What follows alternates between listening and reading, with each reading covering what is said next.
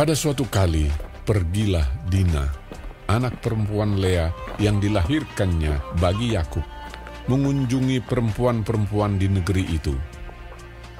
Ketika itu terlihatlah ia oleh Sikem, anak Hemor, orang Hewi, raja negeri itu. Lalu Dina itu dilarikannya dan diperkosanya. Tetapi terikatlah hatinya kepada Dina, anak Yakub. Ia cinta kepada gadis itu, lalu menenangkan hati gadis itu.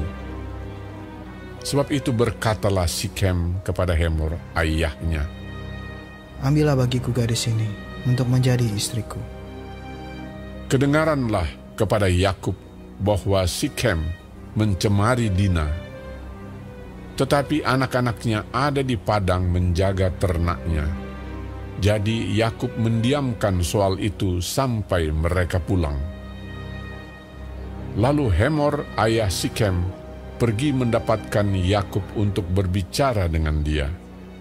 Sementara itu, anak-anak Yakub pulang dari padang, dan sesudah mendengar peristiwa itu, orang-orang ini sakit hati dan sangat marah karena Sikem telah berbuat noda di antara orang Israel dengan memperkosa anak perempuan Yakub.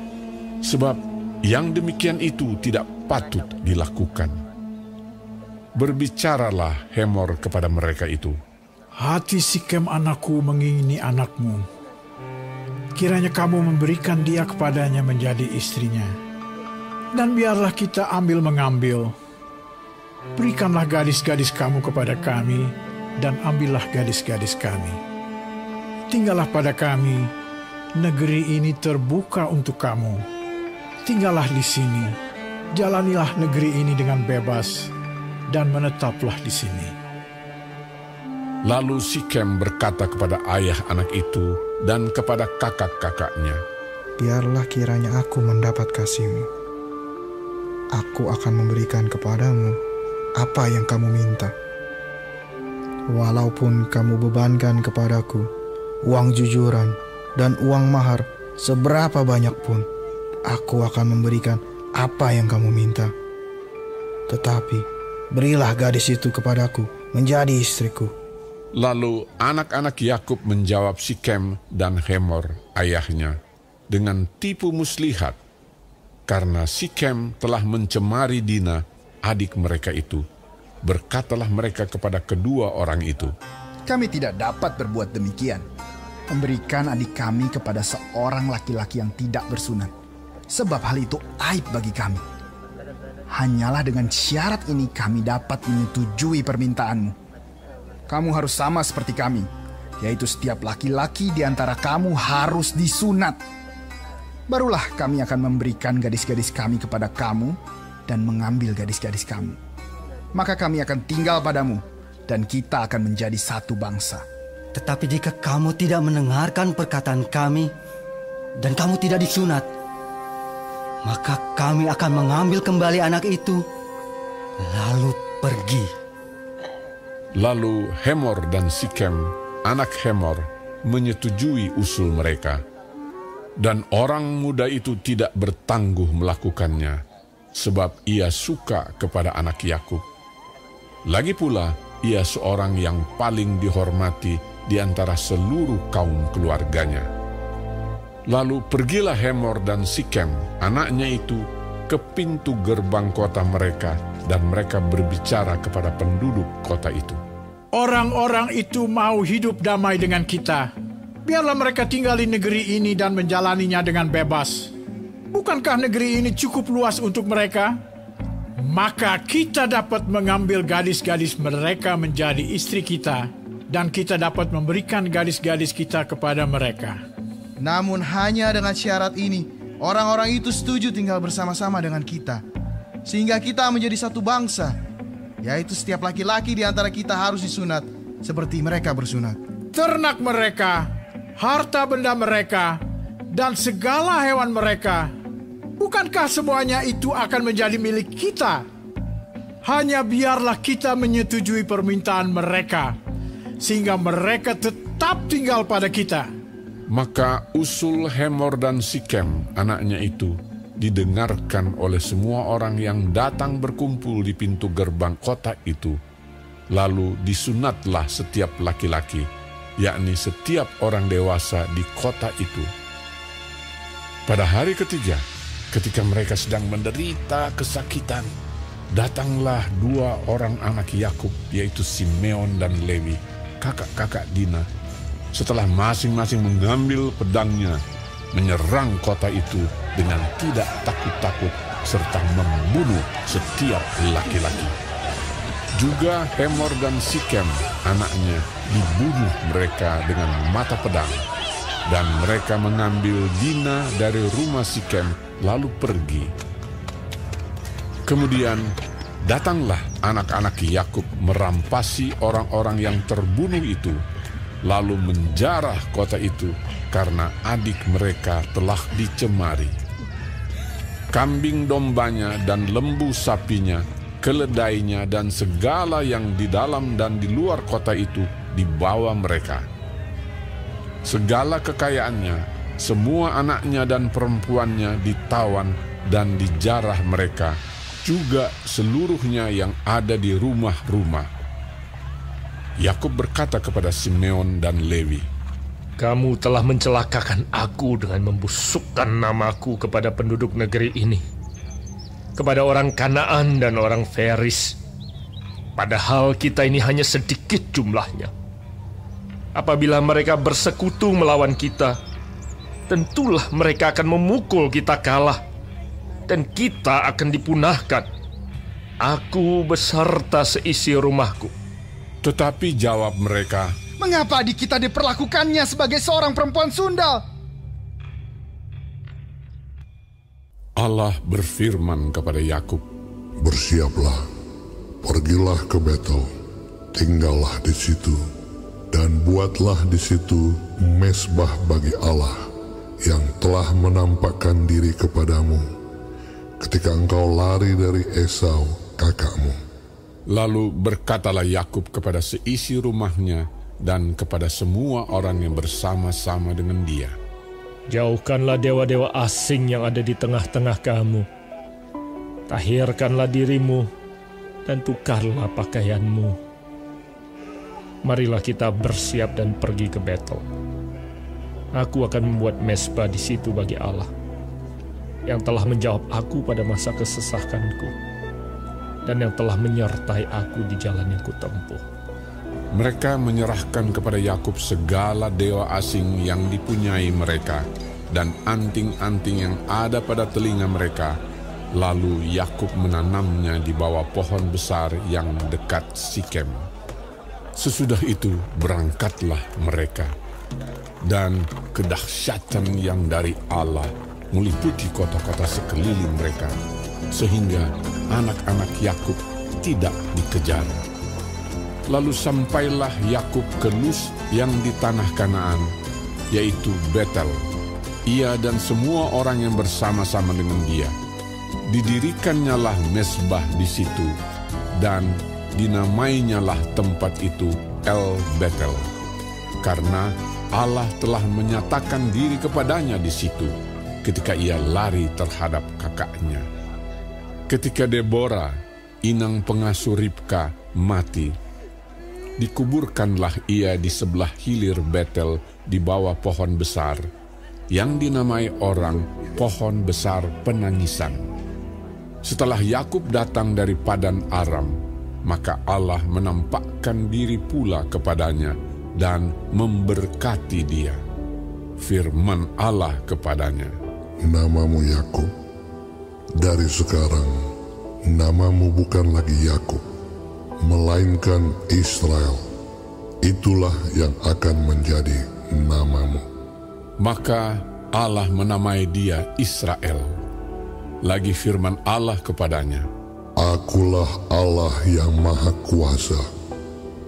Beranak cuculah dan bertambah banyak. Satu bangsa, bahkan sekumpulan bangsa-bangsa, akan terjadi daripadamu dan raja-raja akan berasal daripadamu. Dan negeri ini yang telah kuberikan kepada Abraham dan kepada Ishak akan kuberikan kepadamu dan juga kepada keturunanmu.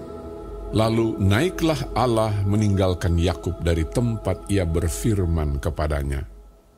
Kemudian Yakub mendirikan tugu di tempat itu, yakni tugu batu. Ia mempersembahkan korban curahan dan menuangkan minyak di atasnya. Yakub menamai tempat di mana Allah telah berfirman kepadanya, Betel. Sesudah itu berangkatlah mereka dari Betel. Ketika mereka tidak berapa jauh lagi dari Efrata, bersalinlah Rahel dan bersalinnya itu sangat sukar. Sedang ia sangat sukar bersalin, berkatalah bidan kepadanya. Janganlah takut, sekali ini pun anak laki-laki yang kau dapat. Dan ketika ia hendak menghembuskan nafas, sebab ia mati kemudian, diberikannya nama Ben Oni kepada anak itu. Tetapi ayahnya menamainya Benyamin. Demikianlah Rahel mati, lalu ia dikuburkan di sisi jalan ke Efrata, yaitu Bethlehem. Yakub mendirikan tugu di atas kuburnya. Itulah tugu kubur Rahel sampai sekarang. Sesudah itu berangkatlah Israel. Lalu ia memasang kemahnya di seberang Migdal Eder. Ketika Israel diam di negeri ini, terjadilah bahwa Ruben sampai tidur dengan Bilha, gundik ayahnya, dan kedengaranlah hal itu kepada Israel. Adapun anak-anak lelaki Yakub dua belas orang jumlahnya. Anak-anak Lea ialah Ruben, anak sulung Yakub, kemudian Simeon, Lewi, Yehuda, Isakar, dan Zebulon. Anak-anak Rahel ialah Yusuf dan Benyamin. Dan anak-anak Bilha, budak perempuan Rahel ialah Dan serta Naftali. Dan anak-anak Zilpa, budak perempuan Lea ialah Gad dan Asher. Itulah anak-anak lelaki Yakub yang dilahirkan baginya di Padan Aram. Lalu sampailah Yakub kepada Ishak, ayahnya, di Mamre dekat Kiryat Arba. Itulah Hebron, tempat Abraham dan Ishak tinggal sebagai orang asing. Adapun umur Ishak 180 tahun. Lalu meninggallah Ishak. Ia mati dan dikumpulkan kepada kaum leluhurnya. Ia tua dan suntuk umur. Maka Esau dan Yakub anak-anaknya itu menguburkan dia.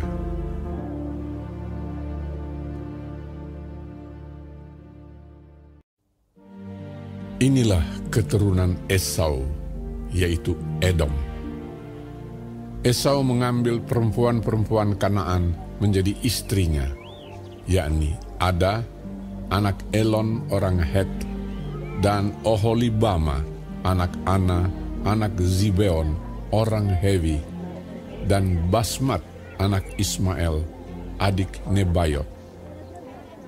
Ada melahirkan Elifas bagi Esau, dan Basmat melahirkan Rehuel, dan Oholibama melahirkan Yeus, Yaelam, dan Korah. Itulah anak-anak Esau yang lahir baginya di tanah Kanaan. Esau membawa istri-istrinya, anak-anaknya lelaki dan perempuan, dan semua orang yang ada di rumahnya, ternaknya, segala hewannya, dan segala harta bendanya yang telah diperolehnya di tanah Kanaan. Lalu pergilah ia ke negeri lain, dan ia meninggalkan Yakub, adiknya itu. Sebab harta milik mereka terlalu banyak, sehingga mereka tidak dapat tinggal bersama-sama, dan negeri penumpangan mereka tidak dapat memuat mereka karena banyaknya ternak mereka itu. Maka menetaplah Esau di pegunungan Seir. Esau itulah Edom Inilah keturunan Esau, bapa orang Edom, di pegunungan Seir. Nama anak-anaknya ialah Elifas, anak Ada, istri Esau, Rehuel, anak Basmat, istri Esau. Anak-anak Elifas ialah Teeman, Omar, Zefo, Gaetam, dan Kenas. Timna adalah gundik Elifas anak Esau. Ia melahirkan Amalek bagi Elifas. Itulah cucu-cucu Ada, istri Esau. Inilah anak-anak Rehuel, Nahat, Zera, Syama, dan Miza. Itulah cucu-cucu Basmat, istri Esau. Inilah anak-anak Oholibama, istri Esau itu, anak Ana, anak Zibeon. Ia melahirkan bagi Esau, Yeus, Yaelam, dan Korah. Inilah kepala-kepala kaum Bani Esau, keturunan Elifas, anak sulung Esau. Ialah kepala kaum Teeman, kepala kaum Omar, kepala kaum Zevo, kepala kaum Kenas, kepala kaum Korah, kepala kaum Gaetam, dan kepala kaum Amalek. Itulah kepala-kepala kaum Elifas di tanah Edom. Itulah keturunan Ada. Inilah keturunan Rehuel, anak Esau, kepala kaum Nahat, kepala kaum Zera, kepala kaum Syama, dan kepala kaum Miza. Itulah kepala-kepala kaum Rehuel di tanah Edom. Itulah keturunan Basmat, istri Esau. Inilah keturunan Oholibama, istri Esau, kepala kaum Yeus, kepala kaum Yaelam, kepala kaum Korah. Itulah kepala-kepala kaum Oholibama, istri Esau, anak Ana. Itulah Bani Esau, yakni Edom, dan itulah kepala-kepala kaum mereka. Inilah anak-anak Seir, orang Hori, penduduk negeri itu. Lotan, Shobal, Zibeon, Ana, Dishon, Ezer, Dishan. Itulah kepala-kepala kaum orang Hori, anak-anak Seir di tanah Edom. Anak-anak Lotan ialah Hori dan Heman, dan saudara perempuan Lotan ialah Timna. Inilah anak-anak Shobal, Alwan, Manahat, Ebal, Shefo, dan Onam. Inilah anak-anak Zibeon, Aya dan Ana. Ana inilah yang menemui mata-mata air panas di padang gurun ketika ia sedang menggembalakan keledai Zibeon, ayahnya itu. Inilah anak-anak Ana, Dishon dan Oholibama, anak perempuan Ana. Inilah anak-anak Dishon, Hemdan, Eshiban, Yitran, dan Keran. Inilah anak-anak Ezer, Bilhan, Zaawan, dan Akan. Inilah anak-anak Dishan, Us, dan Aran.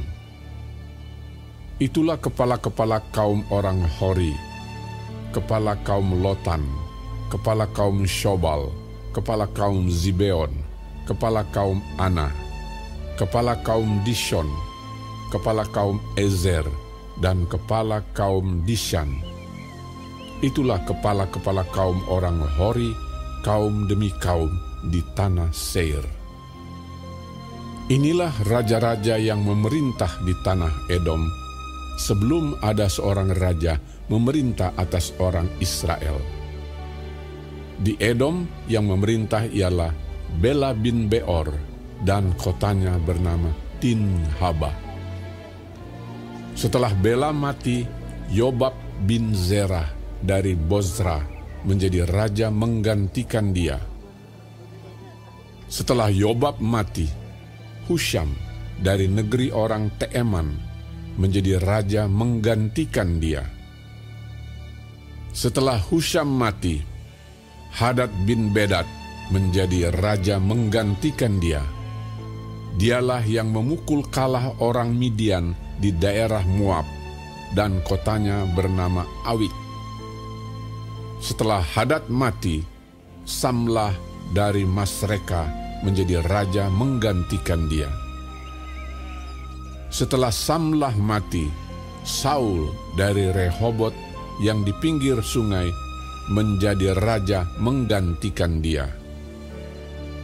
Setelah Saul mati, Baal Hanan bin Akbor menjadi raja menggantikan dia. Setelah Baal Hanan bin Akbor mati, Hadar menjadi raja menggantikan dia. Kotanya bernama Pahu dan istrinya bernama Mehetabel binti Matret binti Mezahab. Inilah nama kepala-kepala kaum Esau menurut kaum dan tempat mereka, dengan nama mereka masing-masing. Kepala kaum Timna, kepala kaum Alwa, kepala kaum Yetet, kepala kaum Oholibama, kepala kaum Ela, kepala kaum Pinon, kepala kaum Kenas, kepala kaum Teeman, kepala kaum Mibzar, kepala kaum Magdiel, dan kepala kaum Iram.